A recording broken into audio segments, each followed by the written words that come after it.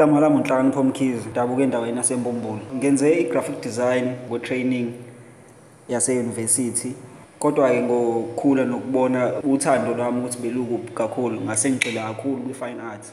So umsebenzi wami ukhuluma nge-legacy ye-imperialism. Kwi-post apartheid nendlela eh, esiwashaphe ngawo eh, ama-communities ethu. Uphinde futhi uquestione na ne-social engineering eseyibekwe kubantu base-afrika abangaphansi kwe abamnyama abansundu ngingasho kanjalo. Indlela-ke engi- engiyisebenzisayo ukuthi ngi-expresse umsebenzi wami or ukuwenza ngisebenzisa i-painting i-sculpture ne-drawing.